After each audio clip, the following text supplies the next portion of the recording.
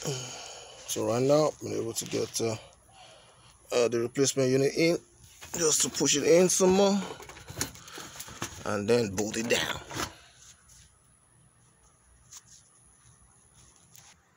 Because this is gonna be his new home from today.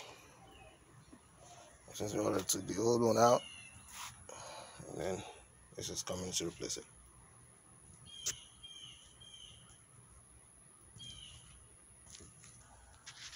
As you can see, I pushed it in. And I start coupling everything I need to couple.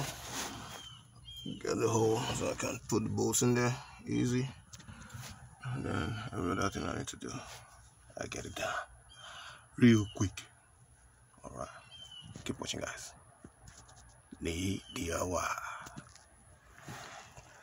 Oh yeah. Put uh, or the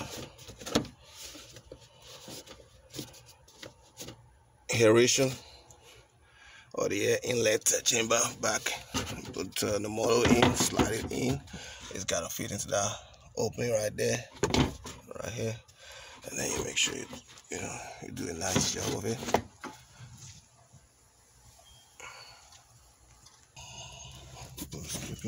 Right here to hold this to the see, right there. Another one here. As you can see, I'll try to you know start coupling everything back together.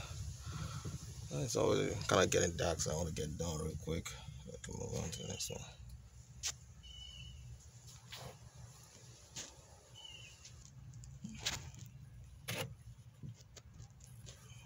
Just checking for the neatness of what I'm doing. So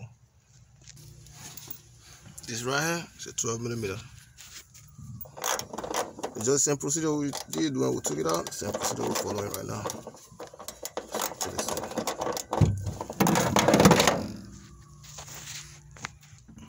that is done. So move to the other side. Got another 12 millimeter right here. Uh, just first untighten it.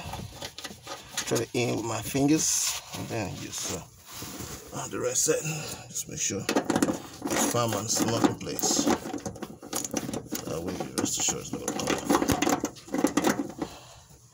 try to put some lighting on there you can see clearly what I'm doing Okay.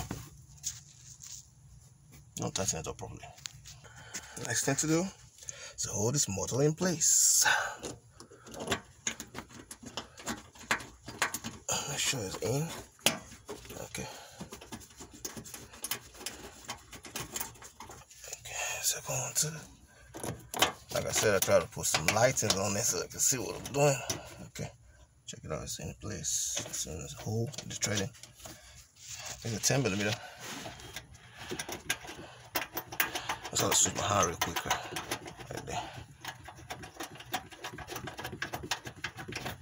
So I'm going to tighten all three and then we'll move to the next one.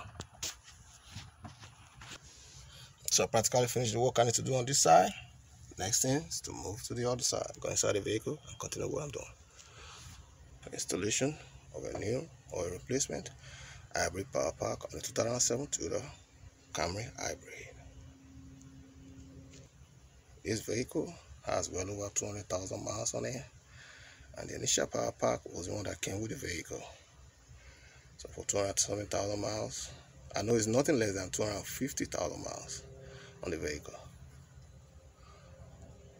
That's a good stretch for the old power, power pack. Although I've been carrying out just replacement of individual cells over the course of time, but I just felt now she kept uh, a power pack that is kind of uh, you know has more juice more life left in it. So I can enjoy the vehicle. It's really tough and durable uh, and pleasurable to ride that vehicle I must tell you.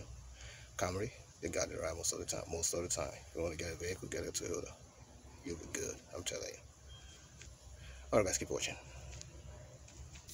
next thing to do is put uh, these bolts in place we got one here you got one there you got one there too so we got three you know because I feel, feel comfortable walking around this because I got my double padded. I got double gloves on there. If you can see the second one's right underneath. But on the other hand, you should be able to see what I'm talking about. Yeah, still the same way as I have here. Well, same way I have on this side. So the top block is covering, covering up the lower one up. I gotta receive that, sorry. And I encourage you to, to do the same. Don't follow those who think they know it all, then go do something, you follow them, and then you go get shocked or something, or lose your life. It's not worth it. This videos is just strictly for educational purposes. A disclaimer right there that uh, you can't do this most of the time. Just go get a service personnel to do it for you, qualified one of that, because you're dealing with high voltage, high voltage inside. Be careful. Be very careful. All right, guys, keep watching. I don't know if you can see clearly. Everything is gradually making sense. So I'm just gonna put this pipe in. All this tubing. It's got a fit in the upper portion right here. Maybe we should do that first and then we'll connect it to the lower portion and just slide it in like that. Look at that. Easy, gentle. And then get one of the clippings and then you just hold it in place ensure that uh, it stays in when the vehicle is moving vibrating it doesn't come off check it out so you can just feel it. See it's in place. And then we got these holes on this side. Let me put the light closer so you can see what I'm talking about. Got this holes on the side. It's gonna go somewhere right here.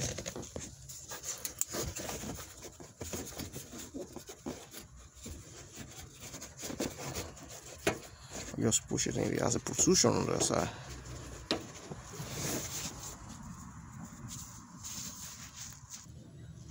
a protrusion like this is where the hose is gonna go into. Just slide it in like that. Yeah it's got that protrusion right there. So it's just gonna go just make sure it's firm it's not in place. To that protrusion it's firm in here. That's it. So the next thing we gotta do and we got this uh, cable right here that's going straight to the motor just hook it up. Uh, yeah. you anchor it on this. That's why they made it there. With a purple tape just to show you just wrap it so it could uh, stay in place and don't dangling when you're moving. And the car is moving I mean. Or I meant to say. Just slide this in. Just slot in. You hear the click? You'll be fine. That's it. It's done. Check it. So it's not in place. We got the bolts of this so it's in place too. And then you got the clipping. You gotta put the clipping on there. That's what in place so the clippings right there. It's in place right now. So we're practically almost done. Just do the wiring uh, connect the harness hook it up the proper terminals and everything else. Make sure it's not having loose contact. And then we're good, we're good to go. So now I'm gonna put all this back in places where we took it out from. This is the black is negative. Down the way around, so it's okay.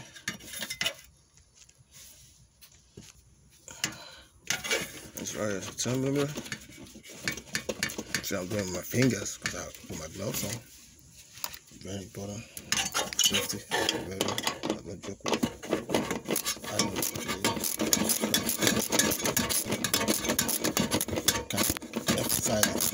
I.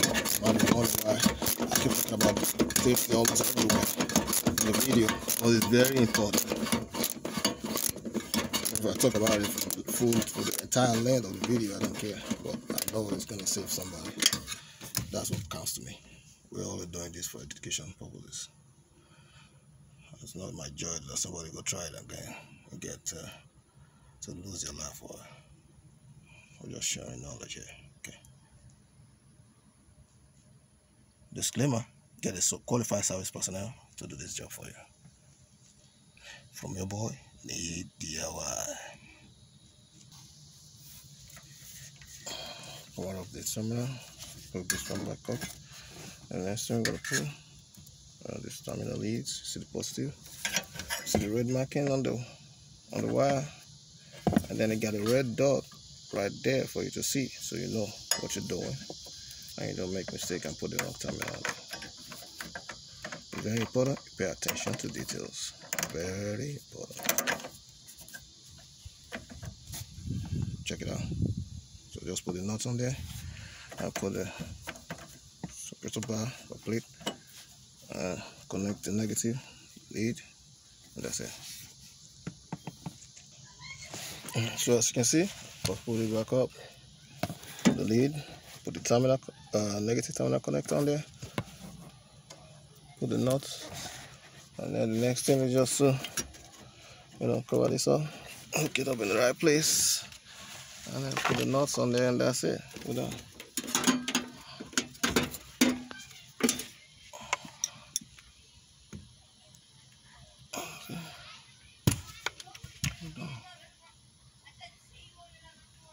Move to the next one I hope you guys enjoyed this video so far. Kindly click the like button uh, leave a comment share this video and don't forget to subscribe. Once again it's your boy Niyi DIY thank you guys. Stay tuned keep enjoying.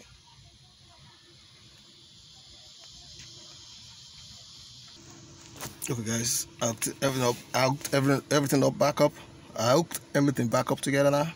So just doing uh I was just a final inspection to see uh, what I've done is actually the right thing to do I got all my wirings my harness in place uh, with the right terminals I got my workspace workspace clean because you know I'm very keen on that if you watch my videos, you know that's one of my slogans. I'm very keen on keeping my workspace clean. I'm very keen on keeping my workspace clean. Alright guys, so the moment of truth is here. We're going to start the vehicle up and find out if this is working. Hopefully it's working. Click the like button. Leave a comment, share this video, and don't forget to subscribe. Also, click the notification icon so you can get notified when we upload new videos thank you guys for staying tuned for watching these videos we got we're trying to build up this channel to 1 million views 1 million subscribers all right guys without much ado see you in the next one bye for now.